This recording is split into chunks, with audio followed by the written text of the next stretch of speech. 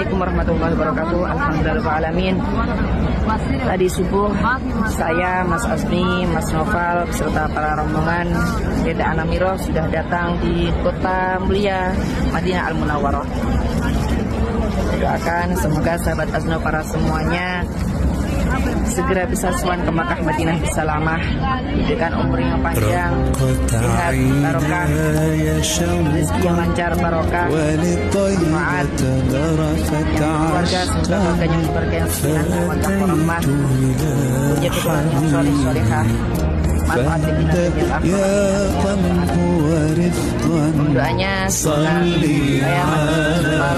para rombongan. diberikan kesehatan panjang